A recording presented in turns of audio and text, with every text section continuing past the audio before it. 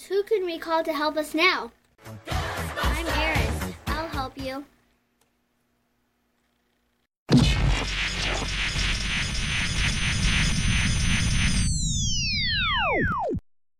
The coast is clear now. You can come out. Thank you for helping us. Would you like to join our dance party? Sure.